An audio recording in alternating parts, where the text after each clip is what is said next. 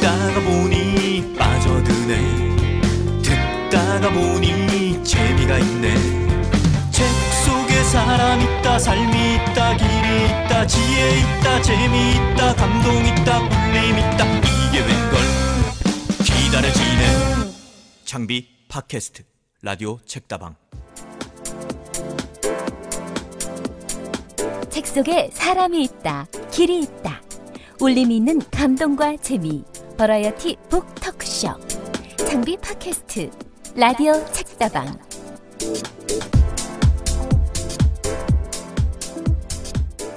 (2014년에) 접어들어 벌써 (20일이) 지났는데 새로운 한 해가 오고 가는 게 왜 이렇게 무덤덤한지 모르겠어요 저는 거의 (30년째) 신년을 맞을 때마다 기도 제목을 적는데요 올해는 개인적인 소망과 함께 기억하고픈 친구들 이름을 쭉 적어봤습니다 그냥 얼굴이 떠오르는 대로 이름을 적고 그 친구들을 잠깐 생각하는 거라서 딱히 기도라고 이름 붙이기도 쑥스러운 그냥 뭐 떠올림 비슷한 건데요. 50명쯤 이름을 다 적고 나니까 이런 어떤 쓸쓸함이 밀려들더군요. 인생의 어느 순간에선가는 저에게 참 떨렸던 이름들인데 어쩌면 이렇게 해마다 떨림이 줄어들까? 뭘 봐도 떨리지 않는 나이가 되어가는 걸까? 뭐 이런 생각이요. 근데 솔직히 말씀드리자면 원래 제가 감수성이 부족한 사람 아니었나 싶기도 합니다.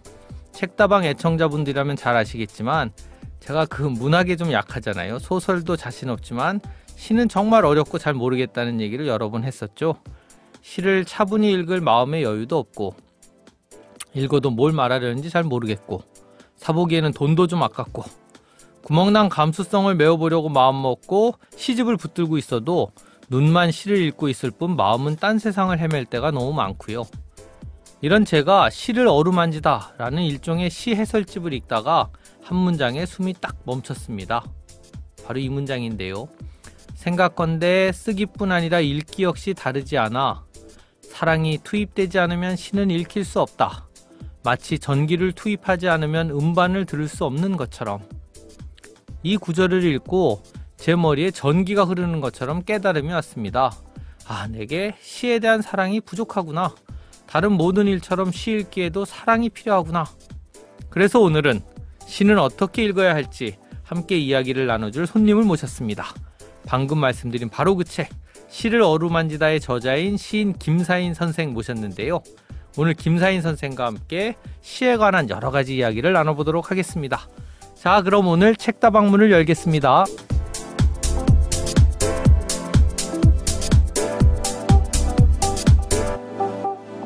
창비 팟캐스트 라디오 책다방은 매주 월요일 오후에 업로드됩니다.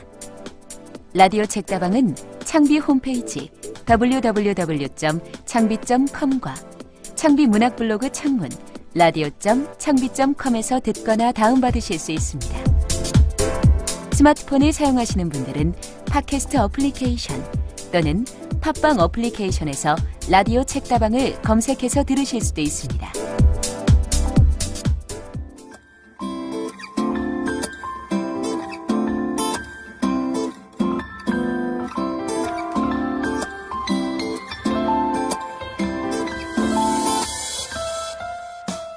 네, 오늘 북토크 시간 변함없이 황정은 작가 함께 해주셨고요. 네, 안녕하세요. 함정은입니다.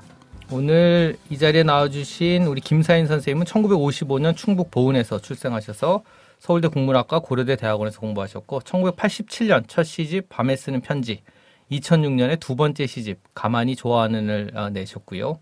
신동엽 창작기금 현대문학상 대산문학상을 수상하셨습니다. 현재 동덕여대 문예창작과 교수로 재직 중이시고요. 최근에 시를 어루만지다라는 책을 출간하셨죠.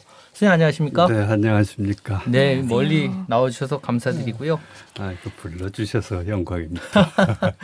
선생님 사실 이 불교 방송에 어, 심야 방송을 오래 진행하셨다고 들어서요. 원래 이 방송은 되게 익숙하신 거죠?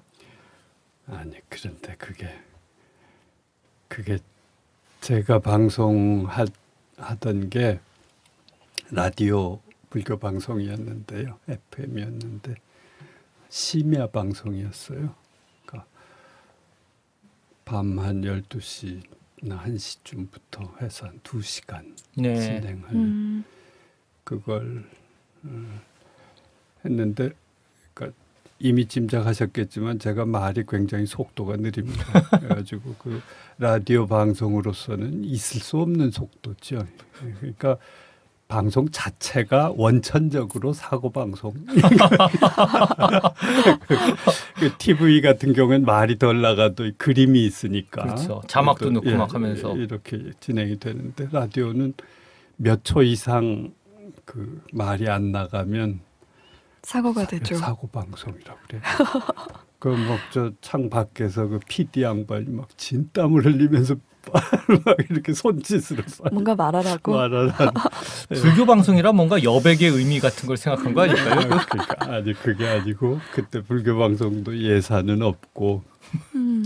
그 늦은 시간을 생방송으로 저 진행을 할 아, 생방송 생방송을 하신 거예요?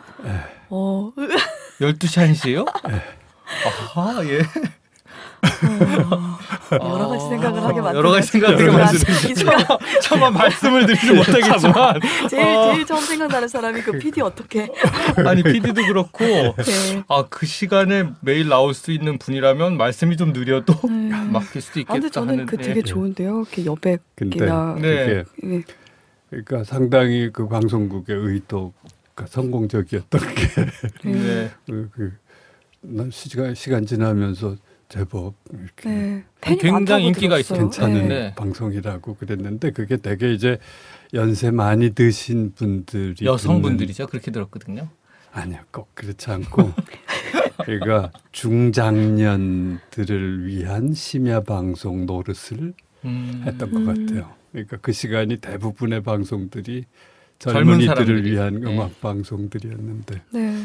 그러다 그렇죠. 보니까 이 말들인 저 같은 사람이 하는 방송이 이게 뭐랄까 이렇게 일종의 틈새 시장에서 살아남은 살아남은 게 아니라 제 방송을 듣고 있으면 한 10분 이내로 안 오던 잠이 싹 오시게 되는 안면 촉진 효과를 갖대와 아, 예, 뭐, 어쨌든 그랬습니다. 어, 그, 음. 동도교대에서도 오래 근무를 하셨고 네. 학생들한테도 아주 인기 많은 교수라는 소문이 있는데 좋으시겠어요? 이뜬 여- 소문입니다. 뜬 소문이고 그게 반대. 제가 학생들을 너무 좋아하고 해서 쩔쩔매는 음. 역관계가 갑을 관계가 반대입니다. 아 학생이 갑이고 원래 그래야 되는 거죠. 네.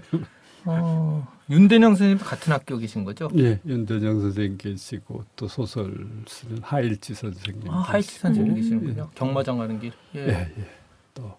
또 희곡 작가 요즘 뭐 좋은 작품들 혼자 다 하시다시피 하시죠. 배삼식 선생이라는 어. 분도 같이 음. 계시고 그밖에 또 뭐 여러 선생님들 도와주시고. 예. 네. 근황을 여쭤야 되니까 이 문학과 사상 2013년 가을호에 실린 김 문학과 사회 선생님. 아, 문학과 사회. 문학과 아, 사회. 아, 죄송합니다. 아, 한번 더 할까요, 우리? 그거나 그거나 그냥 가시죠. 근황을 여쭈다 네. 보니까 문학과 사회 2013년 가을호에 실린 김정한 시를 견디기 위한 한두 가지 어, 한두 관점이라는 비평 얘기를 안 할 수가 없는데요.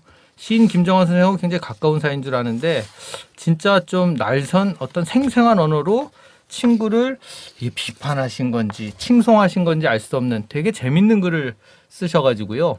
황정원 작가랑 저랑 선생님 오시기 전에 이 바로 전에 읽었어요. 바로 전에 이거를 빵 문학과 나 읽으면서. 우와 우와 어떻게 이런 글이 하면서 아. 재밌게 읽었고 아니, 이 그- 글이 화제가 되게 많이 됐는데요.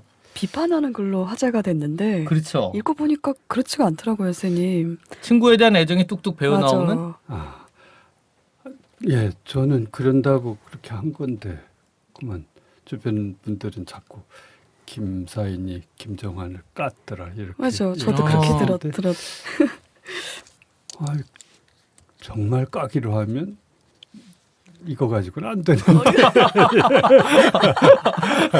아니 어. 김정환 선생님께서 김정환 선생님께 이 글에 관해서 어떻게 좀 대화를 해보셨어요? 어, 예. 해보셨어요? 미리 통보하신? 이런 게 나가니까 아니요, 각오하고 그걸- 있어라. 그걸 아니고. 안? 했어요. 아, 어, 그걸 안 했, 그걸 안 했는데, 그러니까 바로 저 몇 달, 한두 달 전, 한 달 전이네? 네, 한 달도 안 됐네. 창비 시상식에서 네. 그 뒤에 만났어요. 음, 뭐이 잡지가 나간 뒤로도 이런 반구 전화도 없고 그래서 아이 마음이 좀 언짢으신가 보다 이 양반이 그러니까 뭐 나한테는 학교는 두 해 선배인 분이 아. 음. 또 시와 경제라는 동인지를 80년 초에 같이 시작을 하면서 음. 글쓰기를 시작했던 분이고 제가 참 좋아하고 예, 뭐 좋아하지 않을 도리가 없는 그런 네. 네. 그 성품과 기질의 시인이시죠. 음. 거기다 노래까지 너무 잘하시고 아 너무 잘하시죠. 네. 제가 일화를 몇 그랬는데. 가지 가지고 있는데 같이 네. 노래. 아니 노래 하시는 걸 본 적이 있어서 근데 이게 사실은 음, 김정환 그러니까 81년에 시와 경제라는 동인지를 처음 내면서부터 이제 인연인데 그러면 이제 30년 된 친구인 음. 셈인데 그렇죠. 네. 한 번도 김정환에 대해서 이런 반구의 글도 제가 써본 일이 없어요. 음. 그래서 어, 김정환 시인이 시집 내고 하면서 두 차례 그 정 안 되면 뒤 표지에 짧은 글이라도 좀 어, 붙여 달라고 요청을 한 걸 매번 펑크를 내왔어요 그동안. 네. 그래서 그 빚도 갚을 겸 마침 또 저 문학과 사회 편집부에서 어, 청탁을 해와서 그냥 어, 그 동안에 30년 동안에 걸쳐서 내 속에 이렇게, 이렇게 조금씩 쌓인 김정환 시인에 대한 느낌들 이런 걸 음. 어, 그냥 적는다고 적어본 셈인데 그렇게 너무 재미있었습니다. 뭐라 그랬어요, 김정환 선생님은? 아, 김정환 씨는 야 까면 깐다고 미리 전화를 아, 미리 얘기를 또 해줘야지. 준비를 어, 알 거기에 거 아니요. 네, 살짝 살짝 덧붙여도 괜찮을까요? 어. 그게 제 전에 김종환 선생님한테 들었거든요. 뭐라고 하셨는지. 어, 뭐라고? 그 송경동 선생님의 일화를 언급을 하시면서 음. 경동이도 때릴 때는 때려도 괜찮겠습니까? 밝히고 때렸는데 너는 뒤통수 때리면 때린다고 얘기도 안 하고 뒤통수를 때리냐고 이렇게 어. 얘기를 하셨다는. 근데 저는 사실 이 글을 그냥 네. 김정환 선생의 어떤 넘치는 에너지에 대한 예찬으로 읽었거든요. 저는 예. 맞아요. 애정이- 어떻게 할 수가 없는 김정환 선생님 그 음악의 세계사 이런 책 써놓은 거 보면요. 예. 어, 이 사람인가 이 양반은 뭐지? 시를 쓰고 어, 정말 음악에 대한 참, 책을 엄청난 책을 써내고 예, 뭐 그런 그렇죠. 예. 음, 음. 대단한 에너지죠. 네. 네. 대단한 에너지. 선생님 어? 그 저기 동인지 시와 경제 동인지에 대해서 말씀하셨는데요. 음. 89년에 창간된 노동해방 문학 노해문이라고들 많이 말씀하시는데 창간 발행인이세요. 네, 그 당시 이야기 좀 들려주세요. 온갖 걸 다 들춰내셔가지고 지금 네. 들려주세요. 제가 저 아니 정말 저 김 선생님 계셔서가 아니라 검찰 취조 아, 이 네. 방에서 그 얘기들 많이 하세요, 이거. 맞아. 거- 검찰청에 그거 조사받는 거랑 똑같은 느낌이라고. 검찰청에서 조사받아본 사람들은 다 그렇게 얘기를 하더라고요. 이 검사랑 대장이랑 앉아가지고 앞에 예. 피의자 신문하는 것 같다고. 아, 죄송합니다. 예. 어, 그래서 네. 네. 상당히 급진적인 어떤 아, 운동의 최전선에 계셨던 거잖아요. 저도 네. 그 당시에 노동해방문학 읽었던 기억이 나거든요. 음. 수배 생활도 오래 하셨다고. 선생님 김 선생님 학교 다니실 무렵인가요? 그 후반인 거죠. 팔- 제가 86년에 졸업, 아, 80년에 대학에 들어갔으니까 90년에 졸업. 예. 네. 그럼 그래서- 89년에 맞습니다. 처음 나왔어요. 네, 제가 대학 4학년 때. 네, 예. 89년에 음, 처음 냈는데 맞습니다. 창간 발행인이 맞아요. 음, 그러니까 발행인이라는 건 딴 말로 하면 사장이잖아요. 그렇죠. 사장. 네. 그렇죠. 문제 되면 잡혀가야 되는. 예. 음. 음, 그래서 어 하필 제일 맷집도 시원찮고 말도 느리고 그 뭐, 뭐 어쩌다 그렇게 됐는데요. 그게 그거 같이 뭐 이렇게 해보려고 하던 사람 중에서 제가 그중 나이가 많았어요 한두 살 네. 음. 많고 어, 또 유사시에 잡혀가도 어, 책을 만들어 나가고 하는 전체적인 전력의 손실이 가장 적고 왜요? 없어도 그만이 없어도. 한마디로 이녀였. 예, 어, 아니, 저 설마. 이거- 버리는 카드. 어, 버려도 아까울 게 없는 카드.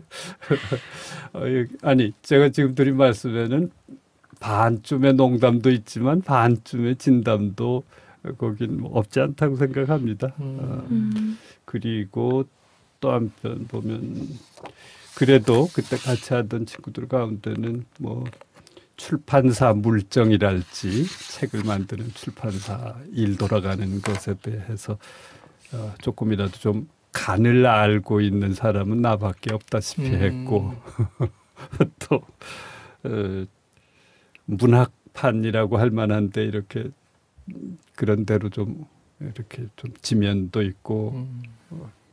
왔다 갔다 해본 경험이 있는 사람도 거의 나밖에 없다시피 하고 그래서 그래서 그런 아주 위대한 자리를 제가 다른 사람 예. 그러니까 노동 해방을 다루는 어떤 전파하는 책은 있어야 되겠다는 의지는 있는데 이런 출판 시장이나 이런 걸 전혀 아마 몰랐을 거고 선생님은 네. 이제 음. 이미 등단하신 작가고 예, 아, 그때 제가 그 80년대 80한 4, 5년경부터 제가 저 실천 문학사 네. 아, 편집장도 하고 편집위원도 하고 아. 했었어요. 음. 그러니까 그, 그런 여러 가지 활동들은 정리를 하신 것인지 뭐 어떤 계기가 있었는지 여쭙고 싶어요. 언제부터요? 그러니까 어떤 어. 운동, 운동이랄까 네. 이런 거를 어, 저 여전히 지금도 하고 있지 아 않습니까? 예. 음, 아이고 글쎄요. 어, 활동 꼭 그러니까 우리가 뭐 운동 이러면 노동운동, 농민운동 아니면 뭐 선생님 김 선생님 하시던 참여연대 뭐 네. 이런 일, 어, 어, 그런 정치적인 운동, 음, 나 정치적인 운동 한다고 어, 프레카드를 내걸고 하는 정치적인 운동. 난 운동이냐 뭐 음. 이런 생각도 한편 하긴 하죠. 저기 어, 지금 질문하시는 뜻을 몰라서는 아니고 음, 저기 한 98년 97, 8년 무렵쯤 해서는 어, 제가 대학교 때 첫 징역을 간 게 77년 유신 때군요. 예. 음. 그, 그래서 저는 법무부의 폐해를 여러 차례 끼친 바도 있고 참 음. 그게 이게 참 선량한 국민으로서 참 할 바도 아니다 싶고 더 이상 그리고 97년 경쯤 되면서 그때 저 IMF도 왔지만 음, 김대중 그렇죠. 대통령이 당선됐던 시기예요. 그리고 거의 한 20여 년 지났고 그 한 20여 년 동안 어, 한쪽으로는 너무 제가 가정을 돌보질 못해가지고 80년 초에 결혼을 해서 어, 80, 98, 6, 7년까지 그 생활급이라는 걸 한 번도 집에 갖다 줘본 음. 일이 없이 어, 어쩌저 근근히 넘어오다 보니까 더 이상 이제 어, 내 가까운 삶을 돌보지 않고는 사람 노릇을 더 이상 할 수 없는 상태가 이제 한편 되기도 하고 음. 정신 차리고 돌아보니까 애들이 이제 막 열여섯, 열일곱 살 이렇게 돼 가고 있더라고요. 네. 그리고 이제 그동안 뭐 이리저리 하여튼 알게 모르게 빚은 쌓여 있고 음. 그 나뿐 아니라 다들 이제 그런 형편들이었죠. 좀. 음, 그래서 그런데 마침 정치적으로도 이제 어, 민주정부가 시작이 네, 된 거죠. 시작이 네. 되고 내 친구들이나 같이 또 왔다 갔다 하고 다니던 선후배들은 뭐 또 다 뭔가 일다운 일을 할 만한 자리를 또 직책을 갖게도 되고 음. 그러면서 조금 이제 눈에 너무 이렇게 눈에 도드라지게 띄고 너무 매맞는 앞장에 서고 하는 일에서는 조금 좀 어, 물러난 셈이 되나요? 어떤가요? 음. 어쨌든 운동은 계속 하시는 거죠. 그래도 방법이 좀 다를 수 있는 거지. 어 그건 누구나 사는 동안은 안 하고 싶어도 안 할 수가 없죠. 예, 뭐, 뭔가 꾸물거리게 되겠죠. 뭐 예. 82년에 등단을 하셨는데 어, 30년이 넘도록 시집은 딱 두 권을 내신 거죠. 87년에 밤에 쓰는 편지, 2006년에 가만히 좋아하는. 어, 시집을 적게 내신 것 치고는 상은 정말 많이 타셨고 어떻게 이렇게 적게 시집을 내시게 된 거예요? 그것도 역시 아- 방금 말씀하신 이 바로 20여 그 년에 바로 이 김정환 선생님이 속으로 굉장히 기분 나쁘게 생각해요. 예, 지금 지금 시집, 시집을 두고. 많이 쓰지도 않으면서 예, 예. 매번 일타 쌍피 내지 음. 아, 그렇지, 그렇지. 알겠어요. 예. 어, 적게 내지만 효과적인. 그러니까 근데 김사인 선생님 이번 글에 이렇게 쓰셨잖아요. 아 하늘은 어찌하여 김정환을 낳고 그 근방에다 게으름뱅이 나를 낳으셨단 말인가. 이게 아마 그런 의미도 있는 이 과작 많이 안 내는 거에 대한. 아니, 네. 사실은 그렇게 얘기를 하지만 음, 너무 느리고 너무 비생산적인 거죠. 저 같은 경우에 사람은 그러니까 후배들 이나 글을 쓰고자 하는 사람들에게 절대로 귀감이 되지 못하는 경우라고 저는 사실 생각하고 있어요. 음, 그게 벌써 이제 겉은 뭐 글쓰기에 대한 어떤 결벽증이랄지 이런 것으로 이제 한편 위장을 하면서 어, 버텨오긴 하지만 네. 그런 부분이 아주 없는 건 아닐지 모르지만 또 나머지 반 이상은 아마 직무유기와 게으름과 이런 거 없지 않다고 생각하거든요. 어, 어, 어쨌든 어, 많이 못 쓴 건 그건 민망한 노릇이지 자랑할 일은 아니다 이렇게 이제 생각하는데요. 아 거기 한 가지 변명 조금 더 붙일 건 하나 아, 네. 있습니다. 왜 이렇게 과작이냐? 아 과작. 네. 그 19년 사이에 그냥 19년이 아니고요. 어, 아는 친구들 사이에는 알려져 있는데 제가 저기 도망 다닐 시절에 시집 이 원고 시집 한 권 분량 원고 뭉치를 통째로 이렇게 잃어버리셨어요? 잃어버리 잃어버렸어요. 누가 가방을 들고 도망을 어. 갔어요. 네. 세상에. 그게 91년이네요. 그러니까 그때 90년, 91년 2년 동안 이제 이렇게 도망을 그 동네. 마을로 네. 잠수함을 타고 예, 수배되던 시절에 어 그래서 제가 그걸 그 물증을 제가 여기 가지고 왔어요. 그때 제3문학사라고 하는 출판사에서 어, 계약금도 50만 원을 받아서 그 책 뒷표지에 이렇게 다음에 나올 시집 광고까지 이렇게 붙여서 네. 제목도 붙어 있었어요. 열애 이렇게 어.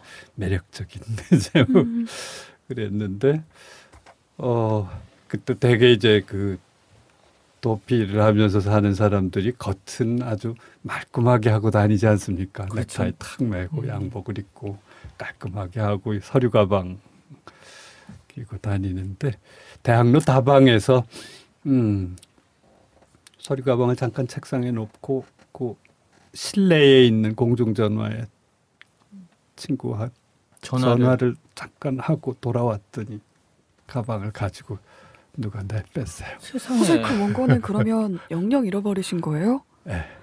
아이고 저는 그래서- 지금 몇억 원 잃어버렸다는 것보다 더 막 그러는 그런 아유 어, 어, 떻게 근데 근데 그때는 컴퓨터가 지금처럼 이렇게 일반화될 때도 전혀 아니고. 어, 자필로 쓰신 원고였을 네, 거다 아니에요. 쓴 거였고 원고를 잃어버린다는 생각은 좀처럼 안 하잖아요.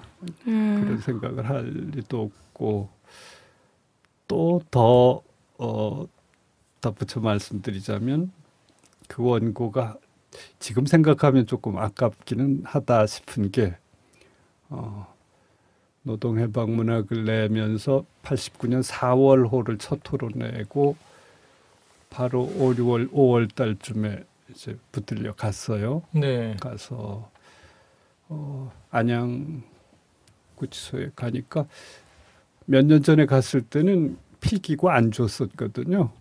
근데 그때 갔더니 어, 쓰- 쓸 수가 있더라고요. 좀 써서 나아진 이렇게 거죠, 영치를. 할 수 네. 있도록. 음. 어 그래서 그 안에서 사실은. 썼던 시들 어. 그 안에 그, 그그 저 뭐랄까 그 갇혀 지내는 사람들에 대한 얘기들이며 이런 느낌들이며 그런 것들이 주를 이루는 시들이었는데 그첫 시집 87년에 내고 어, 네, 한몇해돼 뒤에 그게 그만 다 날라간 셈이. 됐습니다. 근데 거기 또 재밌는 건 저는 제 시를 거의 외우질 못해요.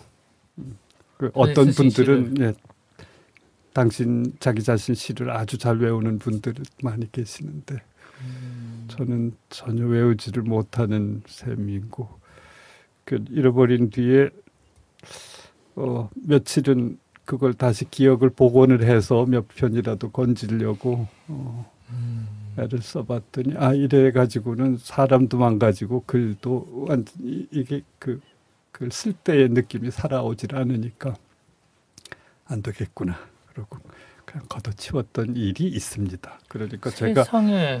제 게으름을 조금은 좀 좀 봐. 아니 근데 그게 봐주십사. 예. 도, 망 다니면서도 사실은 그게 제일 귀중한 거라 가방에 그것만 넣어갖고 그렇죠. 다니신 거군요. 출간 준비하시느라. 예, 이제 그거 넘겨만 주면 되는 것이고 또 세상에. 돈도 받았으니까 넘겨 줄- 주려고 그랬는데 어 근데 아이고 이렇게 막 안타까워하시니까 제가 되레 죄진 것 같은데요. 근데 아니 어떻게 견디셨어요, 선생님? 어 그, 그때는 솔직한 느낌은 뭐 그거 없어진 것 같은 건 뭐 별로 대수롭게 여기지도 않았었어요. 음, 뭐 감옥에 가냐 마냐 하는 판이니까 뭐 늘. 그런 일들 음, 노동해방문하기란 일은 벌려놓고 뭐 매일 와가지고 그 사람들 저 하여튼 저쪽 사람들이 와서 지키고 잡아가고 수배 상태고 이런 상태였으니까 음. 그뭐시 한편으로 음. 뭐 아이 뭐 잘 됐지 뭐 그럼 이제 난지도 지나가면서 바람 불면 그거 내신 줄 알지 뭐 어쩌고 이런 소리 농담처럼 하면서 어, 친구들하고 그러고 넘어갔는데요. 음, 사실은 저 황정은 씨 말씀대로 처음에는 아픈 줄을 몰랐는데 어. 몇 해 시간이 지나면 지날수록 예. 이렇게, 이렇게 무릎이 꺾여가지고 아, 선생님 제 어떻게 듣는 제가 지금 숨 막힐 지경인데 아. 그거를 어떻게 굉장히 이렇게 다시 세상에. 뭘 아. 쓰기 시작하는 게 조금 힘들었던 그런 일은 제가 있습니다. 사실 이런 말씀 드리면 안 되지만 그 누가 가져갔는지 모르지만 그 도둑도 정말 황당했을 것 같아요. 이걸 어떻게 해야지? 이거 이 원고를 어, 양심적인 도둑이면 돌려줬어야 되는데 근데 어 그때 나온 친구들 몇 하고 그때 나왔던 친구들 중에 어 저 영화 감독 이창동 씨도 그때 있었어요. 또뭐 음, 임철우 네. 또 뭐 최인석 이런 사람들이 있었는데 또 소설가 박인홍 씨 이런 친구들이 나와가지고 같이 대학로 뒷골목을 밤새도록 쓰레기통을 다 뒤지셨어요? 뒤졌어요. 세상에 친구들이 다 이제 음. 예, 예, 이게 저 혹시 열어보고 버리고 어, 갔을까 돈, 봐. 네. 음, 아닌 걸 그냥 버리지 않았을까 싶어가지고 음, 그랬더니 아니 그 뜻밖의 그때가 겨울이었는데요. 음, 그러니까 90년 겨울쯤 됐나 보네요. 구- 음. 겨울이었는데 그 대학로 뒷골목 쓰레기통에 버려진 핸드백, 버려진 외투 이런 것들, 지갑 꺼낼 것만 꺼내고 버린 이런 것들이 상상했던 거 이상으로 많았어요. 오 세상에 그러니까 김 선생님, 황 선생님 음. 조심하십시오. 세상에 그래 음, 어, 그러고 돌아갔던 일이 있습니다. 이게 정말 감동적으로 마무리가 되려면 이 창비 라디오 책다방을 듣고 20년 만에 편지와 함께 이 가방이 창비로 배달이 되는 거예요. 그래야 되는 건, 아, 이 썰렁했어요. 이 그만할게요. 너무 마음이 아파서. 죄송해요. 제 지금 아니야, 내 아마. 멘붕을 겪느라고 지금 이게 세상에. 예. 아 그렇구나. 아유 죄송합니다. 그러니까 저- 중간에 한 권이 사라져서 아 사라졌어. 어, 그뭐 이렇게 어떡해. 됐, 됐습니다. 음. 네, 2004년에 어쨌든 또 시집을 내고 노숙으로 현대문학상 수상하시고 아, 하셨는데요. 뭐 이 현대문학상 아, 요즘 문제도 되고 있는 그런 잡지죠 월간지에서 이 참여적인 시인으로 유명한 김사인 선생한테 시 이 상을 줬었고요. 당시에 이 수상 소감이 화제가 되기도 했었죠. 수상 소감 이거 제가 읽기도 참 읽을 수도 없는데 선생님 이렇게 썼어요. 이 무슨 날벼락인가 상이라니 밥상도 술상도 아니고 때 먹고 발길 끄는 단골 술집 외상도 아니고 문학상 그것도 50년 된 현대 문학상이라니 아이고 안 되는데요. 이러시면 이거 제가 읽으니까 맛이 안 나요. 안 되는데요. 아이고 이거 참 아이고, 잘못하시는 일 같은데요. 아이고 이거 참 한 게 없는데요. 저는 아이고 참 뭐 이런 그 이 수상 소감을 쭉 이거요. 네. 선생님 시 같아요. 그 가만히 좋아하는 애슐린 사랑이 왔나라는 시에 유사한 대목이 등장하거든요. 아. 아이고 참네. 현대문학에서도 이 수상 소감 읽고 좀 놀랐을 것 같아요. 이런 수상 소감은 어, 못 재밌 본. 재밌어 하셨어요. 네. 재밌어들은 하셨는데 네. 아니 실제로 그 뭐 아, 뭐랄까요? 80년대 내내 무슨 상, 문학상 이런 걸 음, 내가 그런 건 내가 받을 수 있는 내가 누릴 수 있는 뭐 어떤 일로 여겨온 적도 없고 그, 그거는 나뿐 아니라 다들 마찬가지였죠. 뭐 그때 저 7, 80년대 민족문학 운동, 민중시 운동 하던 사람들 무슨 뭐 상 탐낸 일도 없고 음, 더구나 어 저 이쪽 비교적 우호적인 진영의 상이라는 건 만해문학상하고 신동엽 창작기금 이거밖에 이제 없을 때니까요. 음, 다른 쪽에서 뭐 상을 이쪽 동네 사람한테 주리를 네. 준다는 것 그 자체가 어, 그래서 이제 화제거리가 잠깐 좀 됐던 것 같아요. 어, 됐던 것 같은데 어, 좋으셨어요, 선생님? 어, 음, 그렇지만은 않았어요. 그러니까 그게 나빴다는 말이 아니라 좋다 이런 말로 말하기 어려운 그 마음에 뭐라고 말할 수 없는 얄구 얄궂은 어떤 느낌, 쓰디씀과 어 뭐 하여튼 뭐라고 말할 수 없는 그 어떤 착잡함 같은 게 예, 음. 있었어요. 어, 그러니까 아, 어떤 음, 내 삶을 다시 한번 이렇게 돌아 그 문학적 삶에 대해서 돌아도 보게 되고 또 한편은 그런 것도 있었어요. 아, 아니 왜이 내가 왔다 갔다 하고 노는 이 동네에서는 80년대 내내 날 저 시인 대접해준 쪽은 별로 없었거든요. 음, 그저 문학운동 음, 활동가, 뭐 자실 작가회의 실천문학, 노동해방문학 이런 거 이런 쪽 또는 어 평론가, 평론가로 이제 더 좀 노릇을 해주기를 음, 또 주변에서 기대도 했고 그럴 필요도 또 있었고 어, 그래서 시인은 뭐 나 아니라도 어, 좋은 시인분들이 사실 많았었고 음. 하필 내 동네에서는 안 알아주고 어디 딴 동네에서 네. 나무 집에서 나한테 뭐 이런 상을 격려하고 주나 그런 듯한 음, 뭐좀 얄궂은 느낌이 좀 여러 가지 있었어요. 음. 그 선생님 시집에 관한 이야기를 좀 하고 싶은데요. 이제 선생님 시집 가만히 좋아하는 이 시집 읽으면요. 인간의 쓸쓸함, 가난, 그리고 죽음에 관한 시가 자주 등장을 하더라고요. 예. 이두 번째 시집인데요. 이 시집에 67편의 시가 실렸는데, 어, 저는 심상하게 넘어갈 수 있는 시가 단 한 편도 없다는 게 아주 놀라웠거든요. 선생님께서 초반에 비생산적으로 작업한다라고 말씀을 하셨는데 어, 예. 오히려 그래서 시들이 이렇게 한 편 한 편 특별한 게 아닌가라는 생각도 들고 예. 또 한편으로는 선생님 시가 한 편 한 편 왜 이렇게 슬픈가 이런 생각을 했어요. 이런 질문 자주 들으시는지. 아, 참.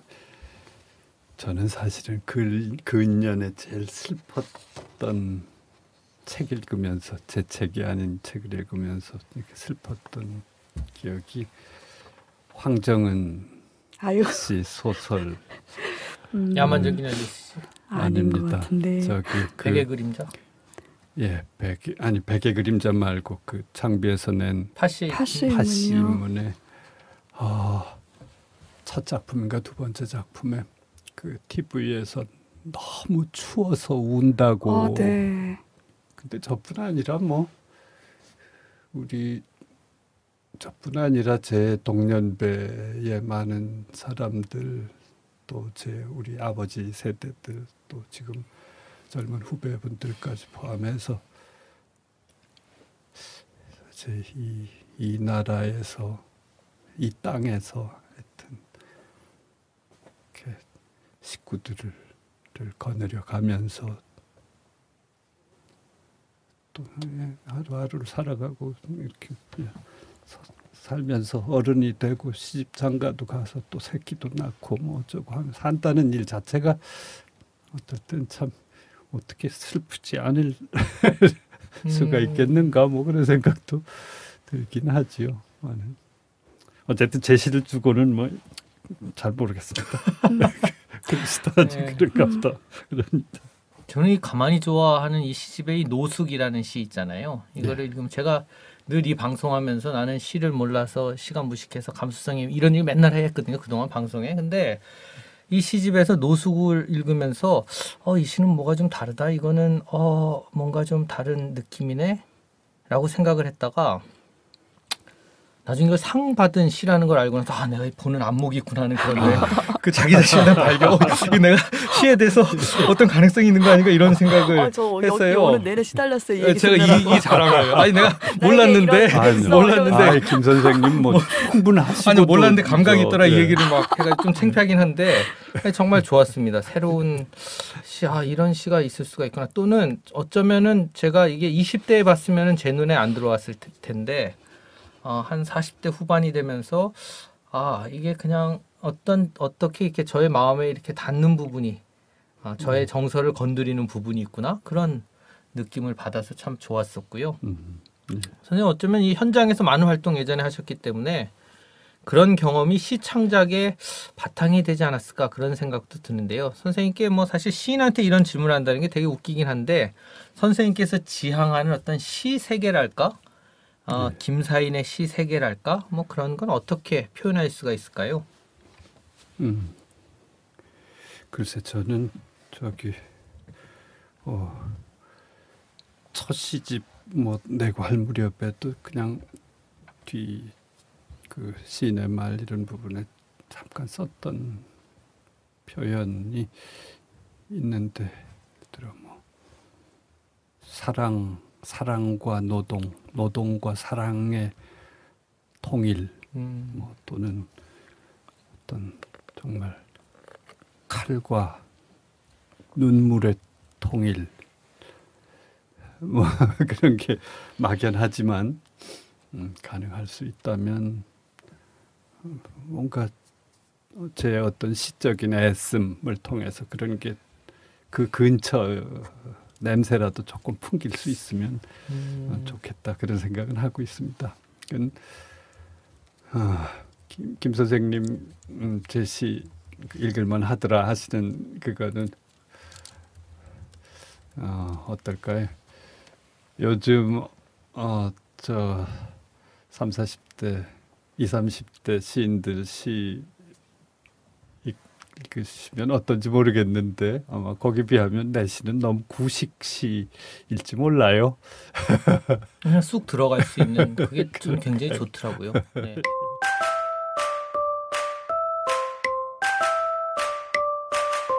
책 속에 사람이 있다, 길이 있다. 울림이 있는 감동과 재미. 버라이어티 북 톡쇼. 장비 팟캐스트 라디오 책다방. 제가 흥미롭게 생각하는 거는 시인이 자기 시 안에 시를 남의 시를 인용하는 것 또는 선생님이 가지신 시인이 가진 다른 사람의 시에 대한 이 사랑 이런 거 되게 좀 독특하다는 생각이 좀 들었어요. 선생님의 눈에 계속 들어오는 그리고 남의 시 다른 사람의 시를 가지고 또 이렇게 책을 내기도 하시고요. 시를 어떻게 읽을 것인가에 예. 관한 이게 일반적인 건가요? 이런 시인의 다른 시인에 대한 사랑이랄까, 어, 읽어내는 눈이랄까, 뭐 그런. 글쎄요. 그 딴 분들도 요즘 이제 많이 그런 그러니까 저는 한편 조심스러웠던 게 지금 말씀하시는 그 시를 어루만지다라는 이런 스타일의 책들 요즘 적지 않은 것 같거든요. 음, 그러니까 특히 그게 한편 문제가 있다고도 하지만 그래도 나쁘지 않은 게 이제 신문들마다 뭐 아침에 읽는 시 한 편 네. 뭐 이제 이런 란들이 한 10년 20년 전부터 만들어져 가지고 음, 그 중앙일보에서부터 처음 시작을 했던 건데 신문들마다 이제 다 그런 란을 운영하는 것 같아요. 음. 그러면서 어, 시인이나 평론가 분들이 시 한 편을 소개하고 짧은 이렇게 이제 감상을 돕는 그런 글을 붙여서 그, 그, 그런 것들로 만들어져 나오는 시선집 적지 않은 것 같은데 그 중에 한 권을 보태는 노릇이 되는 것 같아서 사실은 속으로 조금 멋쩍었던 점도 있습니다. 이 책 만들면서. 네. 그런데 어 뭐랄까요? 저기 다른 시인들을 뭐 일부러 좋아하려고 좋아하는 게 아니라 어, 어떤 시인들의 경우 상당수의 시인들은 안 좋아할 길이 없, 없 없고 아하, 네. 그꼭 시인만이 아니고 음, 정말 세상 사람들 음, 중에 많은 분들이 그렇죠. 이렇게 보고 있으면 조금 잘 들여다보고 있으면 안 이뻐할 길이 없는 그런 사람들이 음, 많은 것처럼요. 어, 그렇고 또 얼핏 그냥 봤을 땐 잘 모르다가도 음, 이렇게 조금, 조금 마음을 이렇게 내서 가만히 들여다 보면 예, 또 어, 역시 또뭐 예. 내가 뭐 이거 꼭뭐 내가 이뻐야 될 필요는 꼭 없는 것 같아요. 음. 이 저는 원래 이 시 읽기에 대한 고민이 있었기 때문에 자꾸 시를 읽다 보면 마음이 딴 데로 가고 어, 읽어야 된다는 생각을 갖고 있지만 차분히 그걸 곱씹을 여유는 잘 없고요. 맞아요. 그래서 나는 왜 이렇게 시 읽기가 안 될까? 제가 음. 윤동주 시를 한 중학교 때쯤 막 외우고 이랬던 시기 이후에는 예. 저는 바쁘게 살아서 그런지 참 시가 저하고 멀리 있다는 생각이 늘 있었고요. 그러다가 이번에 이 시를 어루만지다를 읽으면서 아, 시, 한국의 시라고 하는 게 이렇게 다양한 색깔이 있구나. 그러니까 이건 어떻게 보면 김사인의 눈으로 본 한국의 시에 관한 책이잖아요. 그래서 되게 도움도 많이 되고, 아, 어쩌면 내가 다시 한번 이제 40대 후반에 시에 도전해 봐야 되겠다 이런 생각을 들게 한 책인데요. 예. 이 암- 현대문학에 연재됐던 거죠. 이 어떻게 이런 이 책을 쓸 구상을 하시게 된 거예요?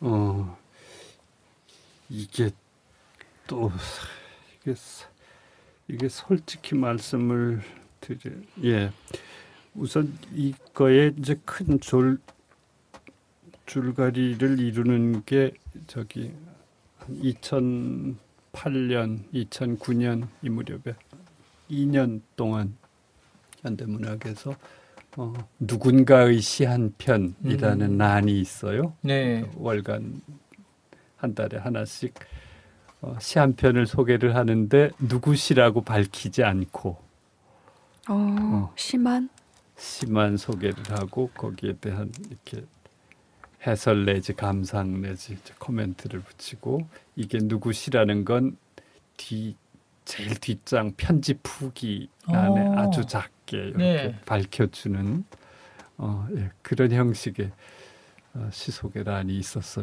있었어요. 지금도 계속 되고 있죠. 네.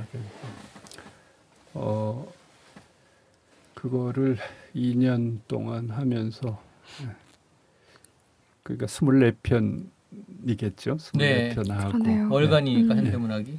그리고 이거 외에도 이제 이런저런 기회에 어 뭐 올해 좋은 시랄지 이런 거 선하고 하면서 거기에 짧은 이제 코멘트를 붙이게 되는 네. 그런 인연이 닿은 시들 또 그 전에 또 이런저런 기회에 그런 시에 대한 짧은 글들 쓸 기회가 있던 것들 이런 것들이 한 10여 년 가까이 예, 쌓인 것들 중에서 추려진 겁니다. 음. 추려지고 제일 앞에 실린 시에게 가는 길이라는 총론에 해당하는 글은 한 10년쯤 전에 쓰여진 글입니다. 아, 그렇군요. 그래서 약간 부분적인 손질은 했지만 음. 기조는 그래서 음, 기본적인 생각은 지금도 크게 변함은 없지만 이제 쓰는 말들은 지금은 공경이랄지 겸허랄지 이런 말 어, 조금 요즘엔 덜 쓰는 편입니다. 음. 음, 이름을 따로 표기해 보자는 것 그거는 선생님 아이디어였나요? 아니에요. 아니면 원래 있던. 코너였나요? 음, 아, 재밌는 그래요? 기획이네요. 어. 그러게요. 네, 저는 그 말씀 들으면서 네. 이런 사실은 그 김종환 선생님의 시에 관한 그 시평 을 읽으면서도 들었던 생각인데요. 작품을 읽으면서 작가에 관한 정보가 좀 있다는 건 어떤 의미가 있을까 음. 이런 생각을 좀 했었거든요. 예. 선생님 어떻게 아, 생각하시나요? 그 사적으로 시인과 비평가가 맺게 되는 관계가 시에 대한 글을 쓰는데 어떤 영향을 끼치는가 그런 의미인가요? 그런 의미도 되고요. 음. 독자의 그러니까 독자 이제 입장에서 어떤 독자들 그런 생각하거든요. 아니 저 저같이 이름 없는 사람이 쓰는 건 아무리 잘 써도 별 볼 일 없다고 음, 하고. 그래요. 아니면 뭐 저 이거 저 신경림 선생이 썼다, 고은 선생이 썼다, 김사인, 김정환이 썼다. 그러면 네, 네. 박원규 이런 분들이 썼다 네. 그러면 그냥 몇줄별 생각도 없이 휙휙 써갈긴 것 같은 글도 막 잘 썼다고 음. 음. 세상 사람들 막 대접해주고 그러는 거 아니에요? 도대체 음. 그 음. 차이가 어디 있어요? 그런 질문 가끔 받습니다. 아 네. 그래요. 음. 어. 황 선생님 어떻게 생각하세요? 어떻게 답하세요? 저요? 선생님? 아니, 진짜 이렇게- 어려운 질문인 것 같아요. 현명한 네. 대답을 대답을 지, 질문을 돌려주신 거 아니에요? 그러게요. 저한테 어. 지금. 어. 아니, 저 그냥 궁금해서 좀. 예, 아니 정말 음 글쎄요. 저는 어, 그냥 우리가 한 번 시인이라고 세상에서 불리기 시작하면 그냥 음. 그 다음에 10년을 안 쓰건 20년을 안 쓰건 평생 시인 그렇죠. 예. 이제 에, 근데 그건 그냥 직함의 이름이겠죠 뭐 음. 직함의 이름이고 어, 어젯밤에 시 쓴 사람이 시인 아, 아니겠나. 참 멋지네요, 선생님. 그런 생각 음. 드는데요 어젯밤에 소설 쓴 저는 그런 소설가 만든 것인가? 맞는 죄송합니다. 거예요. 죄송합니다. 소설가 네. 죄송해요. 소설가 맞는데 왜 엉뚱한 소리예요 지금? 네, 죄송해요. 어. 예 아니 그러니까 음. 어, 시인이란 직함을 가진 음, 사람이라 해서 세상의 관행 속에서 그냥 저 사람 시인이야 이렇게 부르는 사람이라고 해서 늘 이렇게 시적으로 고양된 상태 늘 있는 건 아니겠지요. 음, 네. 그리고 또 그런 마음이나 의식의 고향에 어떤 커트라인이 있어서 어느 이상 될 때라야 시고 그 이하는 시가 아니다 이렇게 뭐 이렇게 선을 그을 수 있는 그런 게 있는 것도 딱히 아니고 음. 그러니까 실은 어, 유명한 시인 임네 뭐 상을 문학상을 뭘 받았네 하는 사람의 시 중에서도 어, 태작이 없을 수 없고 음. 그러니까 베토벤이 작곡한 거라고 전부 다 어, 굉장하다 또는 뭐 우리 집 꼬마가 어, 띵땅거린 거라고 해가지고 다 뭐 별게 아니다 이럴 수는 사실은 그렇죠. 없는 거지 네. 않습니까? 음. 그런 것처럼 그렇지 않을까. 음. 근데 이제 문제는 그걸 어떤 사심 없이 선입견 없이 이렇게 분간하고 이렇게 누리고 감상하고 즐기고 할 수 있기가 또한 참 쉬운 게 아니죠. 네. 그렇죠. 그러니까 어, 우리가 되게 어 뭐 베토벤의 뭐, 뭐, 뭐, 뭐 소나타 몇 번, 모차르트 몇 번 어쩌고 하면 그걸 정말 그 소리와 음과 음악 그 자체를 좋아하고 즐기고 이뻐하기보다 암암리에 이건 모차르트 거야, 이건 베토벤 거야라는 그것을 어, 세 이렇게 의지해서 어, 그걸 소비하거나 거기 편승하는 경우가 많은 거 아닌가? 음, 그런 생각도 하시는군요. 예, 예, 그런 생각 듭니다. 음. 책 제목이 시를 어루만지다인데요.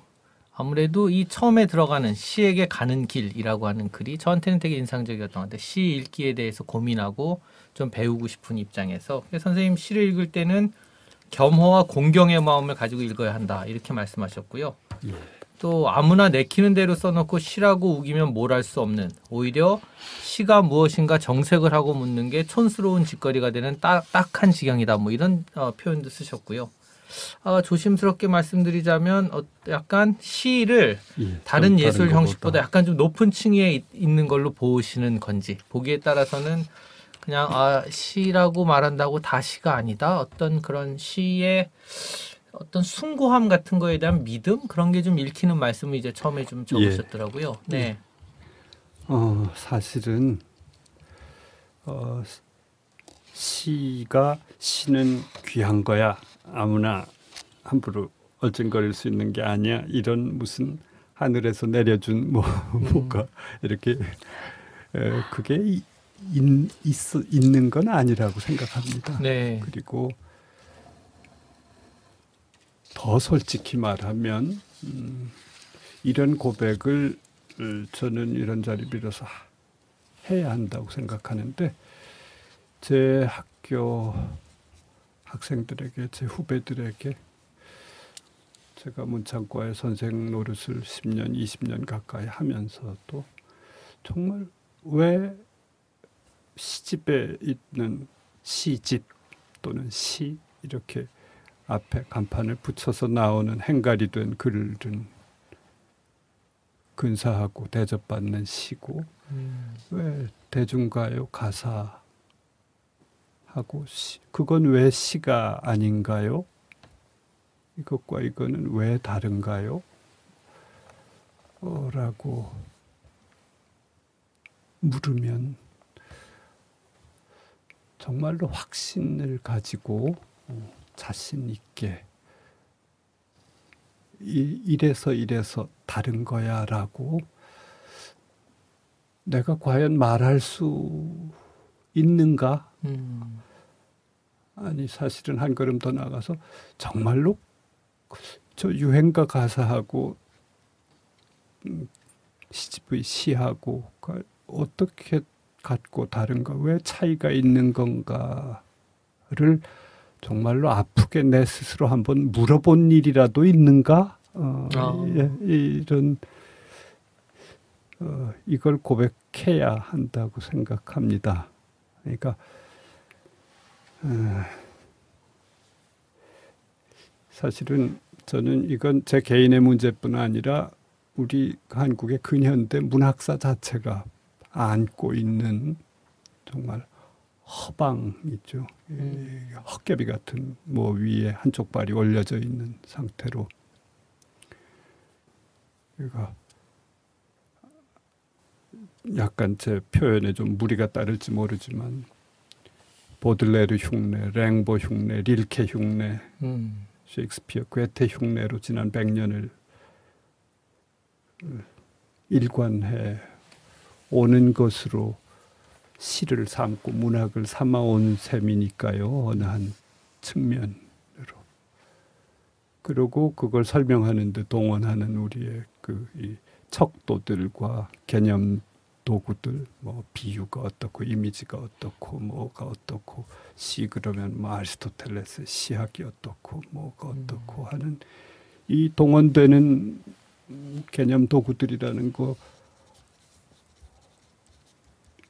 이거 이거 이거 참 한 내 속으로 알아서 난 내 새끼와 내 말이 아니잖아요. 네. 그런 측면이 있죠. 물론 입양을 해서도 충분히 내 새끼, 내 배로 난 내 새끼보다 더 잘 키우고 어, 할 수 있는 것입니다만 음, 그래서 정말 은유다, 뭐 저 환유다, 무슨 이미지다, 뭐다 하는 정형시다, 자유시다 이런 말들 상당히 저 유용하게 우리가 지난 세기 동안 써오긴 했지만 그럼에도 불구하고 저는 근본적인 어떤 부분에 대해서 우리가 음, 뭘 고민을 치르지 않은 채로 아직 오고 있다고 사실은 그건 소설도 마찬가지라고 봐요. 음. 우리 문화 네. 전체. 예. 아, 그러니까 높은 층위의 어떤 시의 세계가 있다 이런 말씀을 하시려는 게 아니고 어떻게 예. 보면 제가 사실 설명을 하긴 참 어렵지만 어, 그러니까 그 질문을 던져야 된다는 생각을 하시는 거군요. 시란 과연 무엇인가? 아, 사실은 예, 시를- 나아가야 시를 하는 대하는 거죠. 태도랄지 예. 우리가 쓰는 사람이든 읽는 사람이든 예. 음, 그 아니 그러니까 아 선생님 앞에 질문하신 그 당신이 지금 시는 무슨 대단히 높은 네, 건 네, 것처럼 네. 음. 이렇게 설정하고 있는 그런 것 오해를 같소. 받을 수 있는 거 아닌가 하는, 말씀하시는 데 네. 대한 답에 네. 서론인 셈입니다. 아 이제 네, 그러니까 네. 아, 사실은 거기까지 나가야 한다. 음, 어, 시라는 시라는 게 과연 무엇인가 하는 물음 음, 그리고 이 물음을 시라는 단어와 시- 시라는 한자어에서 유래한 이 말 밖엔 빌어서 말할 길이 없는가 어쨌든 음. 그 시란 이 언어를 발음 보호를 빌어서 우리가 환기하는 여러 그 이 표상들 관념들 이것들에 대해서 어쨌든 좀 더 근본적으로 하여튼 이렇게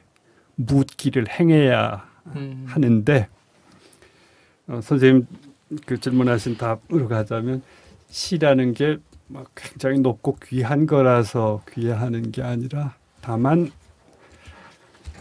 아, 유행가보다 아, 저는 이런 일종의 제식의 어루만지기 음. 또는 이건 뭐랄까요? 음, 이뻐서 이뻐하는 게 아니라 이뻐함으로써 이뻐지기를 알겠습니다. 예. 음. 저는 예.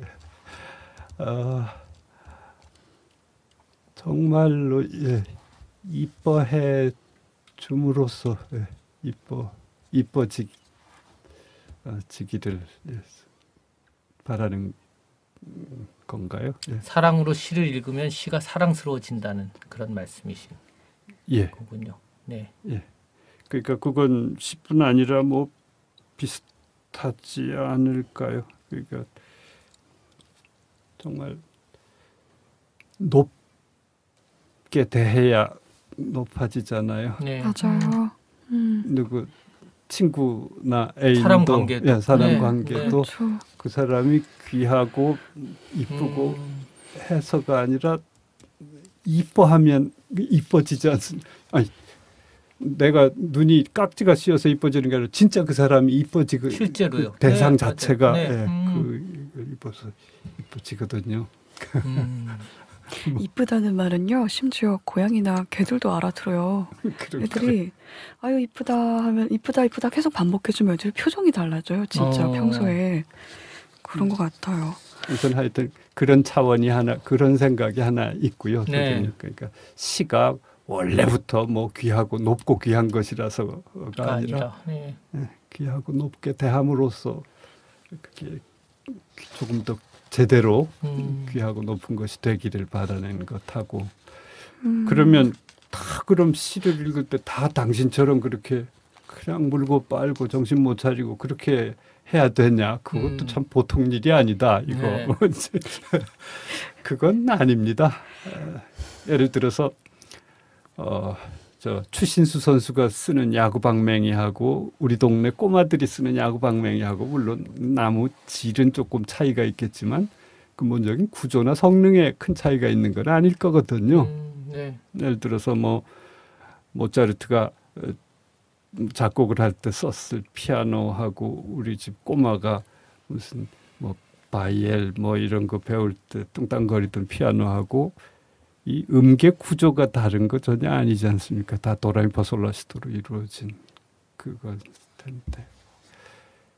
어, 저는 모든 사람들이 다 시를 뭐 그냥 이렇게 도 닦듯이 정말 공경과 겸허로 어, 물고 빨아야 한다. 전 그렇게 생각지 않습니다. 그냥 편하게 음. 가지고 어, 놀는데 편하게 동네 아이들이 야구 방망이 들고 뭐 친구들하고 장난도 치고 야구도 하고 뭐 그거로 뭐 강아지도 때리고 뭐도 호도도 깨먹기도 하고 이제 그런 두루 쓰듯이 강아지도 때리고 선생님 호두 호, 호두 미안합니다. 강아지도 때리고 강아지 빼겠습니다. 네. 음, 그렇지만 음. 그 야구 방망이가 야구 방망이 베- 건 맞는 거죠. 음. 베이브루스도 음. 가능하고 추신수의 그것도 이룰 수 있는 또한 그 방맹이기도 하다는 것을 음. 또 이론에 음, 그걸 한쪽에서 어, 그걸 이렇게 이루고 있는 것이 어, 또한 작은 일은 아닌 것이겠죠. 네. 예, 예. 음. 그 서로 음. 배치되는 것도 아니고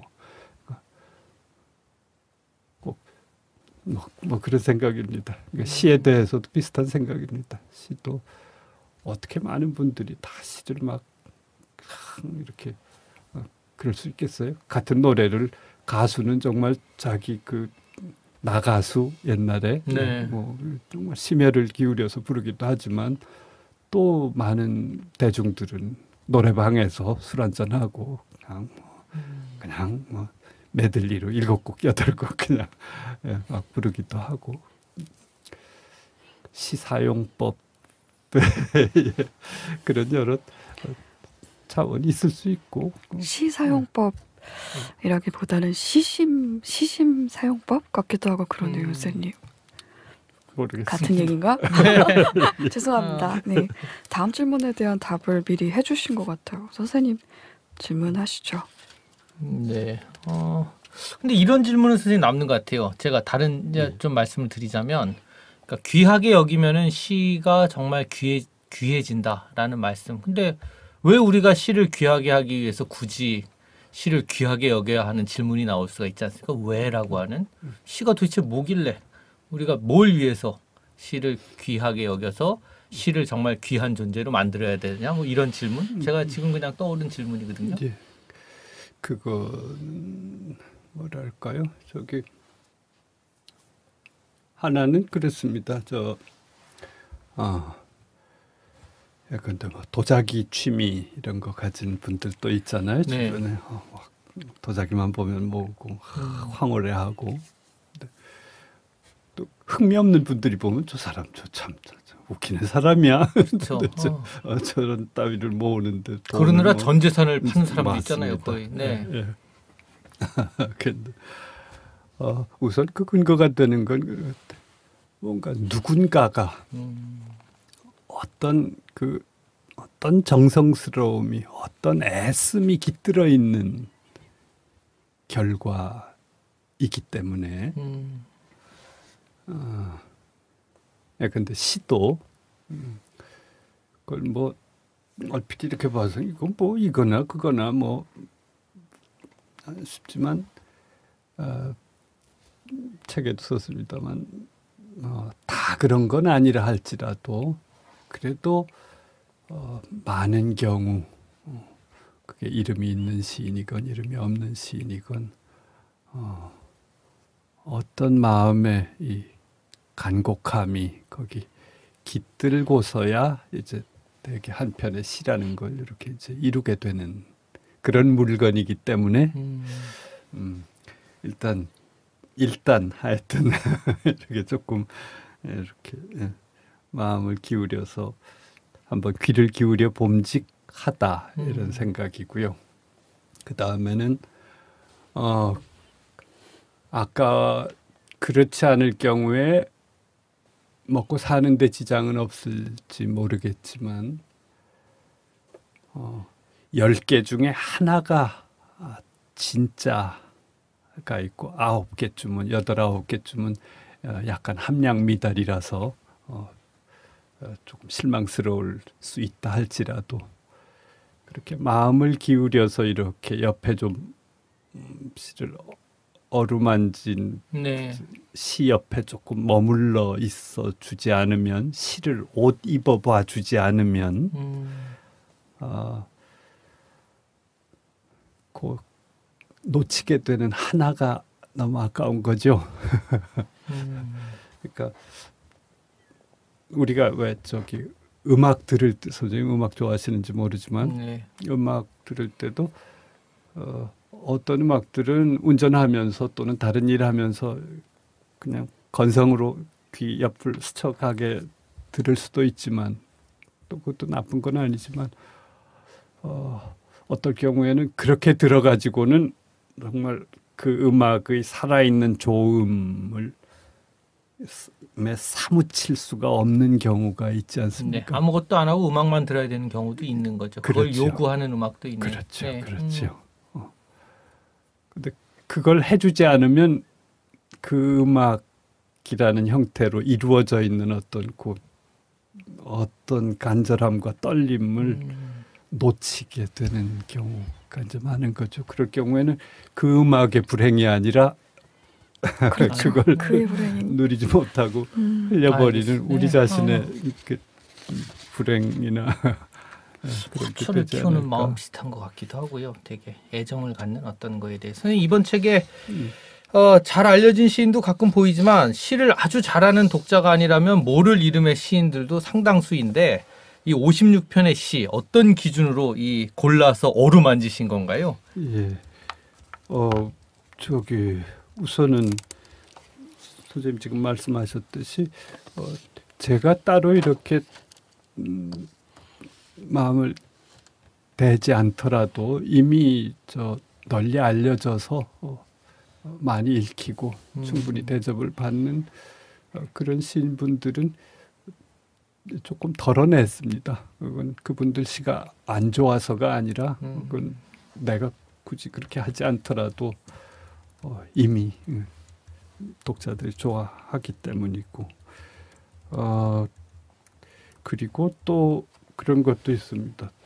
어, 여기에 빠 이게 무슨 우리 시인들 전부를 절대로 다 아우르는 거 아니죠. 여기 음, 빠져 네. 있는 어, 유명한 분들도 빠져 있지만 더 좋은 시들 가지고 있는데도 이 책이 다 거두지 못한 그렇죠. 예, 좋은 음. 시인들 뭐 많이 있습니다. 많은데 어, 저하고 뭔가 우리식 말로 하면 이렇게 인연이 맞는 궁합이 네. 맞는 뭔가 또 있을 수 있다고 봐요. 그러니까 아무리 제가 선입견 없이 하여튼 마음을 열어서 이렇게 시를 받들고자 애를 쓴다 해도 뭔가 아직은 조금 덜 와닿을 그런 시들은 어쩔 수 없이 제가 수습을 못했어요. 음. 그리고 선생님께 울림이 있었던 어떤 시들을 역시 고르신 네. 거죠. 네. 그러니까 음, 뭔가 조금은 어, 마음이 좀 이렇게 조금 나지막한 시들 나- 그러니까 막 나잘났다고 하는 시비기보다는 조금 살면서 세상에 대해서 어, 조금은 좀 어떤 미안함 비슷한 걸 조금은 좀 지닌 마음이 나, 나지막한 시. 예, 그런 미안함을 지닌. 그런 시들 어, 아니 그러면 제 결국은 예. 약간 김사인 같은 시를 고르신 것 같기도 해요. 제가 지금 불경스럽게 말씀드리자면 네, 아 그런 거 아, 이제 느낌이 쭉쭉 오는 아 그렇구나. 김사인 같은 시를 김사인 선생님이 고르신 거구나 그런 느낌이 있네요. 아, 아, 그러면서 하여튼 기본적으로는 어, 저 어, 저평가 우량주 이런 말들. 적어 네. 있었습니다만 예, 음. 정말로 아니 이게 왜 그러냐 하면 이게 저 장비와 인연이 있는 방송인 줄도 압니다만은 장비를 비롯해서 정말 서울 중심의 몇몇 유명한 문학 잡지들 네. 이런 지면에 이름이 시가 발표되고 또 그런 데서 운영하는 문학상 후보에 이름 오르내리고 하는 시인 아니면 어, 이 우리 오늘 한국 사회의 정보 의 유통 방식이나 이 속에서 지역에서 산골에서 농촌에서 섬에서 혼자 애쓰는 좀- 정말 구도자 어, 저 시쓰기들로 자기를 버텨나가는 이런 이들의 그 외로운 애씀에 대해서 정말로 태무심이거든요. 음. 우리 이- 어, 그건 뭐 누구 한두 사람의 잘잘못만도 아니고 그 큰 잡지들이 왜 그것까지 다 아우르지 못하느냐 그렇게 야단칠 형편도 안 돼요 사실은. 음. 근데 이제 문제는 그게 어, 뭐랄까요 그렇게 혼자 외롭게 애쓰는 이들을 그렇게 외로운 채로 두는 게 우리 사회나 우리 문학 전체를 위해서 결코 좋은 게 아니라고 생각도 되고 또 무엇보다도 독자들 시를 누려야 될 더 많은 한국어 사용자들에 대해서도 어, 이런 이쁘고 귀한 이들 귀한 마음들이 요소 요소에 이렇게 있습니다 하는 걸 이렇게 좀 보고해드리고 싶었어요. 음, 그렇게 고르신 네, 시들이군요. 시 한 편마다 선생님의 감상이 붙어 있는데 이게 해석이 아니라 그야말로 감상이고요. 몇 가지 궁금한 거. 선생님은 도대체 이 시를 몇 번이나 읽어야 이렇게 감상을 적을 정도가 되실까? 또는 선생님이 좋아하는 시는 어떤 시? 좋아하는 시인은 누구일까? 뭐 이런 궁금증 또는 선생님 시집을 읽을 때는 어떤 방법으로 읽으시나? 뭐 이런 여러 가지 질문들이 좀 떠오르거든요. 예. 글쎄요. 몇 번이나 읽나부터 시작해서 네. 그러니까 아까 저 김 선생님 아 시를 예, 다시 이제 도전을 네, 예, 도전 정말 도전. 도전이라는 말씀을 쓰셨는데 네, 음, 거기 그러면서 그 바, 바빠서라는 네. 말씀도 쓰셨던 쓰셨던 것 같은데 어, 바쁜 건 시하고는 참 거의 상극에 가까운 것 같아요. 음, 그러니까 바쁨, 그러니까 속 속도전, 그러니까 하여튼 능률과 실질을 숭상하는 네. 이 국민 교육 헌장 정신과 음, 이게 왜 그런가 하면 어 이게 차라리 시- 어, 소설이나 산문 같은 경우에는 그냥 어, 충분히 말할 수 있잖아요. 충분히 설명하고 네. 예. 그걸 하필 왜 하필 그렇게 문학의 여러 장르들 가운데 글자 수가 유독 상대적으로 좀 적은 음, 게 시라는 이름으로 되게 불리는데 어, 그것만 봐도 시라는 게 양과 속도의 승부하고는 조금 다른 어느 측면이 있는 것 같거든요. 네, 그러니까, 그러니까 뭐 우선 단적으로 말하면 시 옆에서 이렇게 머물러 있어줘야 되거든요. 음, 시 옆에 시간과 마음을 들여서 옆에 그냥 같이 네, 조금 있어줘야 예. 음, 말씀하시면서 의자를 앞으로 살짝 살짝 밀어서 음, 시 같이 있어줘야 가셔서. 되는 옆에. 그렇죠? 다가가서. 음, 같이 있어. 좀, 좀 품어주고 있어주고. 음, 시를 조금 시의 무릎을 조금 베고 어, 이렇게 끄먹끄먹하고 그냥 음, 좀 있어줘야 한다고 생각합니다. 그 어, 저는 어떻게 읽느냐고 질문하셨는데 저도 그러려고 노력할 뿐이죠. 근데 만일 그렇지 않고 시를 속독을 하려고 하면 그건 안 읽는 것만 못해요. 음, 왜냐하면 시라는 양식 자체가 속독을 거부하거든요. 네, 많은 경우. 어, 그러니까 어, 그냥 생각하기에 따라서는 글자도 몇 안 되고 책도 얇고 그 서점에 서서 그냥 쭉쭉쭉쭉 이렇게 신문 기사 읽는 속도로 읽으면 그거 뭐 한한 30분이면 시집 한 권 다 읽지 않겠습니까? 네. 그거는 시를 읽는 읽는 게 아닌 게. 아니죠. 음. 그냥 눈 눈으로 말뜻만 해독하고 음. 국어사전 순간적으로 머릿속에서 국어사전이 작동하는 거죠. 네. 말뜻 풀이만 하고 지나가는 거지 그거 아니거든요. 음. 그래서는 시의 그 살아있는 힘, 시 속에 있는 그 시의 뭐 혼, 시의 시임이 음. 이렇게 살아오르지 않는 거죠. 그러니까 예, 그저 알라딘 램프에 이게 거인이 살아 올라야 그게 시거든요. 천천히 어루만져야 이제 그렇죠. 지니가 확 하고 이렇게 나오는 음. 지니가 거군요. 나와서 아. 뭔가 지니가 쫙 오는 비인데요. 아니, 저는 오늘 그냥 제가 왜 망하는지에 대해서 왜 시를 못 읽는지에서 바로 답이 나오는 속도전 예. 답 때문이었어. 뜻이니까. 네. 속도. 음. 그리고 거기 또 하나 네. 덧붙이자면 선입견. 예, 제가 겸허 공경 이런 말을 처음에 자꾸 썼던 게 게, 예, 예. 네. 우리 노래 가사에 음. 저기 가시나무 하덕규 가시나무라는 노래 노래 가사 첫머리에 내 속에 속엔 내가 내가 너무 너무 많아. 도 많아 네. 당신의 쉴쉴곳곳 없네 없네. 이런 가사 있습니다. 같이 불러. 아니 우리 아 농담이고. 이거 정말 네. 정말 명언입니다. 음.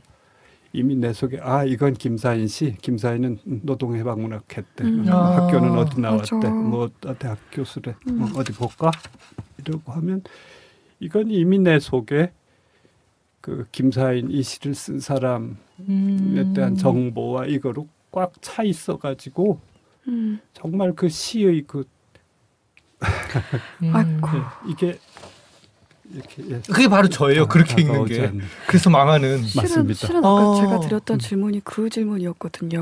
음. 저자가 독자가 네. 저자의 텍스트를 읽을 때 그 저자에 관해서 뭔가 알고 있는 게 있다는 건 어떤 의미일까? 음. 그 질문 방금 말씀하신 그것에 예, 대한 음. 질문이었어요. 선입견 없이 읽어야 한다. 예. 네. 그건 음악 들을 때도 마찬가지인 것처럼요. 음, 음, 선생님 선입견 말씀하신 김에요. 뭐 시에 관한 여러 다양한 선입견들이 있잖아요. 편견이라고 해야 될지 뭐 시는 어렵다, 먹고 살기도 힘든데 뭐 바, 바빠서 뭐 시는 뭐 마냥 마- 낭만적이다. 음. 뭐 흔히들 하는 말로 시 쓰냐? 뭐 이런 농담도 막 있고 예. 아, 소설 쓰냐? 맞습니다. 소설 쓰냐? 막 이런 것처럼. 어. 이런 이야기들 있는데 시에 관한 편견 중에서 선생님이 가장 안타깝게 여기는 건 뭔지 여쭙고 싶어요. 그러니까 어, 한 가지 글쎄 어렵다 그래서 네. 어렵는데 어려울 수밖에 없어요. 그러니까 음, 어, 왜냐하면 우리가 익숙해져 있는 그 언어의 소비 방식, 낱말의 소비 방식들이 근데 신문이나 방송과 같은 방식으로 네. 이렇게 이렇게 이렇게 어떤 그런 문법 체계와 통사 체계에 따라서 이렇게 이렇게 이렇게 어, 말을 스쳐 지나가면서 빨리 읽히고 네, 잘 네. 읽히는. 음, 그리고 분명한 한 가지 의미와 그렇죠. 이로 정연함에 음. 네. 의해서 촤라락 이렇게 음. 독해 가능한 어, 명료한 의미 중심으로 음. 그런데 어, 시는 그 그런 어떤 우리의 그 언어나 어, 낱말 소비 습성 에 자꾸 충돌되거든요. 음. 그러니까 시는 어, 짧지만 그 굉장히 어찌 보면 고준위, 고단위 네. 비타민, 고단백 음. 언어 집약이 돼 있다는 예, 거죠. 예. 네. 거기 이렇게 그 지니가 이렇게 조그만 램프로 이렇게 형사 드러나 있는 거거든요. 음. 압축돼 있는 예, 거죠. 그건 그 지니를 그러니까 이게 그냥 다른 램프하고는 다른 거예요. 네. 이게. 예. 그냥 램프가 아닌 거죠. 예, 예. 이 시라는 그러니까, 거는. 어, 불편하고 해서 그런데 저는 바로 이 어려움에도 불구하고 이걸 음, 이렇게 돌파하고 그 옆에서 진이 비슷한 뭐라도 이렇게 피워내 보고자 애쓰는 일이 우리가 오늘날의 현대적인 삶 속에서 우리가 말하고 글 쓰고 하는 어떤 감각들 음. 이런 것 속이 이것이 놓치고 있는 굉장히 소중하고 거의 우리의 언어 생활의 영혼에 해당하는 어떤 부분을 음. 회복할 수 있는 어떤 단서가 그나마 이, 음. 이, 이, 시 진- 안에 있는 예, 거죠. 예, 진이를 피워 올리기 위한 오늘 제목은 이 알라딘의 마술 램프. 마음의 네. 애씀 예, 거기에 있다고 생각돼서 음. 절대 수월하고 편할 리가 없어요. 음. 음.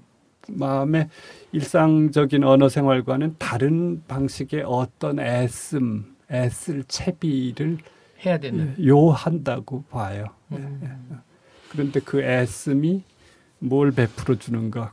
전 굉장히 귀한 걸 우리 속에 준다. 이제 예, 음. 귀한 걸 이렇게 촉발시키는 대목이 있다 이렇게 음. 생각하는 제. 개인적으로는 근데 말씀 듣다 보면 제가 이런 생각 드는 것 같아요. 제가 제가 인간 김두식이 너무 빨리 쓰는 사람이 이미 돼버린 그런 느낌이 있잖아요. 더 준비되기 전에 글을 쓰는 사람이 되고 나니까 그 다음에는 늘 쫓기면서 뭘 읽더라도 이걸 어떻게 써먹을 수 있을까를 가지고 제가 책을 읽게 되는 것 같아요. 예. 빠른 시간 안에 많이 읽고 그래서 그걸 저의 다음 책에다 쏟아내야 되고 막 이런 강박 속에 쫓기다 보니까 그래서 시를 읽기가 참 잘 안 됐던 것 같고 그러니까 선생님 말씀처럼 이게 그렇게 많이 어루만지면은 거기에서 얻게 되는 게 더 더 삶을 풍요롭게 하는 어떤 게 나오는데도 매일매일 워낙 쫓기다 보니까는 그게 좀 어려워 지는 게 내가 이렇게 시를 잘 못 읽는 거였겠구나 하는 그런 생각이 오늘 좀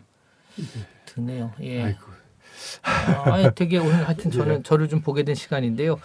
아, 요즘도 이 시를 쓰는 사람들도 있죠. 이 시 쓰기에 대한 질문 마지막으로 안 드릴 야, 수가 없는데요. 참, 예. 이 쓰는 사람들한테는 어떤 말씀을 어, 하고 싶으세요? 어떻게 써야 하는가? 선생님 뭐 읽는 사람이기도 하지만 쓰는 사람으로도 오늘 이 자리에 나오셨는데요. 예.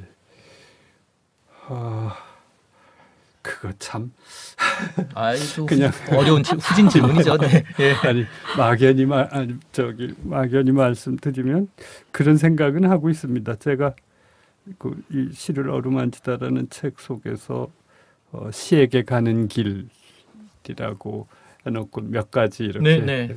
이렇게 하면 좀 좋지 않을까요 하고 제안하고 있는 바들을 어, 사실은 삶, 내 삶의 어떤 또 사물들과 세계에 대해서 그 시읽기 제가 예, 생각하는 몇 가지 초식을 그대로 적용을 하면 음, 그 사이에 쓰- 그게 시쓰기가 그게 시쓰기라고 음, 음. 어, 시를 어루만지는 게 아니라 어, 제가 이 볼펜에 대한 시쓰기라는 건이 볼펜을 어루만지기인 거죠. 음, 정말 볼펜 곁에 오래 머물러서 이 볼펜의 진이가 음, 나올 예, 때까지. 이렇게 피어 오르기를 그걸 위한 내 어떤 마음의 애씀과 이 마음의 염과 사랑의 투입과 이런 것 속에서 볼펜과 나 사이에서 애가 배의 길을 음, 말로 이루어진 아이가 배에서 태일 수 있으면 그게 시 그게 시 아닐까 뭐 그런 막연한 생각 하는데 선생님 어떤 쓰는 것과 읽는 게 사실은 다르질 않군요. 저는 그렇게 생각하는 네. 편입니다. 그러니까 저는 시를 이렇게 읽기에 애쓰는 일 그게 뭐꼭 시뿐 아니겠죠. 음. 그게 음악이건 예술이건 특히 작품이라는 이름으로 이렇게 자기를 구현하고 있는 이것들을 접하는 이걸 제대로 하고자 애쓰는 일이 어, 정말로 사랑의 기술, 삶의 기술 이런 것과 별개의 것이 아니다는 음. 등 어쩌는 등 뭐 헛소리를 제가 늘어놨습니다만 어, 그 얘기의 근거는 지금 말씀드린 네. 그겁니다.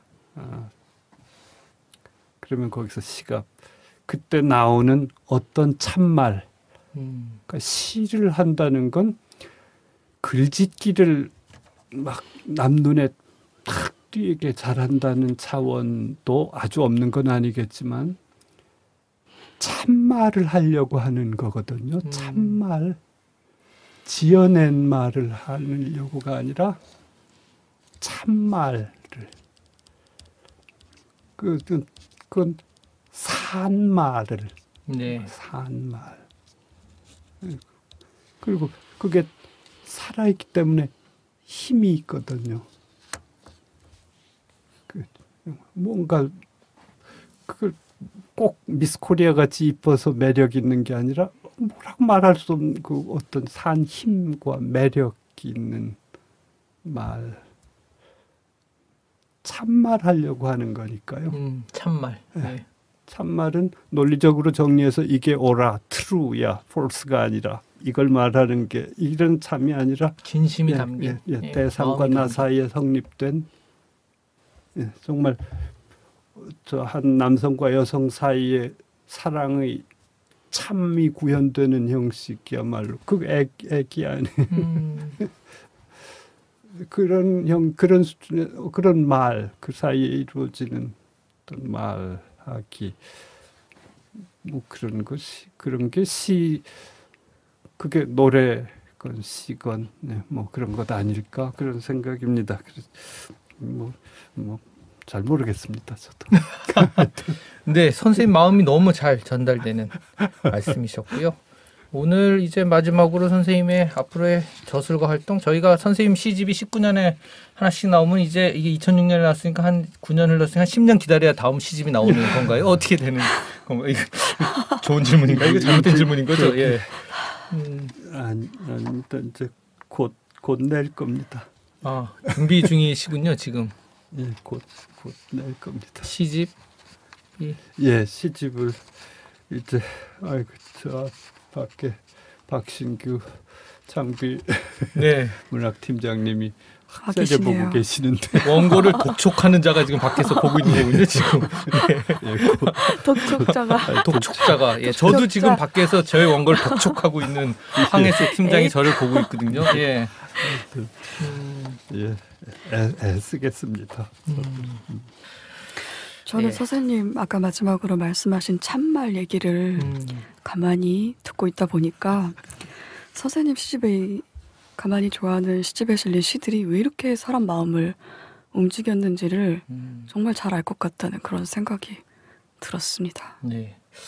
저는 오늘 원래는 황혜숙 팀장한테 우리 김사인 선생님께서 빨리 말씀하시겠다고 약속을 해놓고 오셨잖아요. 그런데 아, 상당히 느리셨는데 혹시 저는 무리하신 거 아닌가요? 아 근데 전 저는 느려서 좋았습니다. 이 시를 읽는 마음하고 네. 선생님 말씀을 이렇게 따라가면 선생님 말씀에 몸을 싣는 거하고 되게 비슷한 것 같아요. 아, 그 선생님 내공이 상당하십니다. 이제 얘기 듣는 사람들은 막 답답해가지고 아, 아닙니다. 막 예, 아니고요. 몰라 하시는데 저는 어. 평소보다 좀 빠르게 말씀하시는 건 아닌가 이런 생각도 좀 했거든요. 음, 네. 오늘 정말 행복한 시간이었고 저는 책에 대한 책에 대해서 사실 늘 좀 약간 부정적인 마음이 있었던 사람인데요.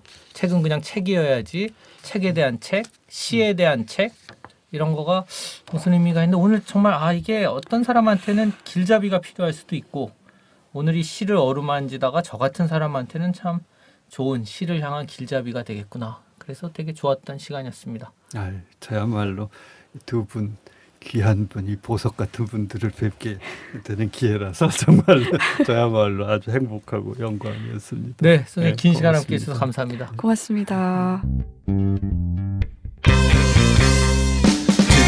듣다가 보니 빠져드네. 듣다가 보니 재미가 있네. 책 속에 사람 있다 삶이 있다 길이 있다 지혜 있다 재미 있다 감동 있다 울림 있다.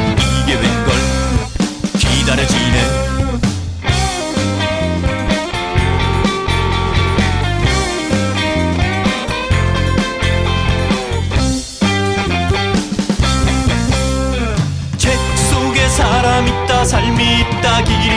지혜 있다 재미 있다 감동 있다 울림 있다. 그게 뭔데?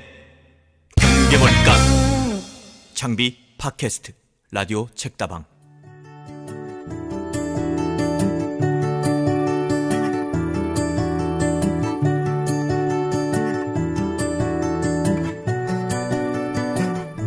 라디오 책다방은 창비 홈페이지 www.changbi.com과 창비 문학 블로그 창문 radio.changbi.com에서 듣거나 다운받으실 수 있습니다.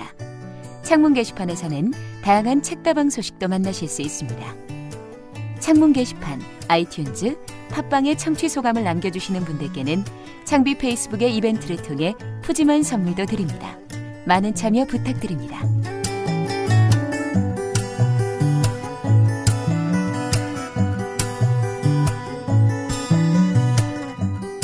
오늘 모신 김사인 선생님의 잔잔하고 차분한 말씀을 듣는 내내 시인의 영혼과 결에 대해서 많은 생각을 했습니다. 마냥 차분하고 진지하실 것만 같은데 그 말씀 속에서 위트가 느껴지고 오랜 운동과 사회 참여 경험이 숙성되어서 인간과 세상에 대한 따뜻한 시선을 갖게 해준 것이 아닌가 싶었습니다. 가까이서 시 얘기를 더 많이 듣고 싶기도 하고요.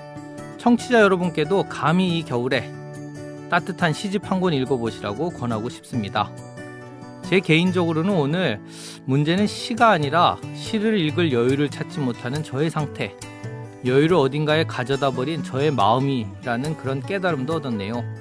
무엇보다 일을 좀 줄여야 되겠다는 생각을 했습니다.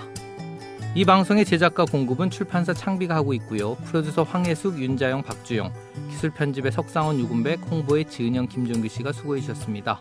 잊지 말아주세요. 월요일 오면 찾아오는 라디오 책다방. 바로 다음 주에 또 찾아뵙겠습니다.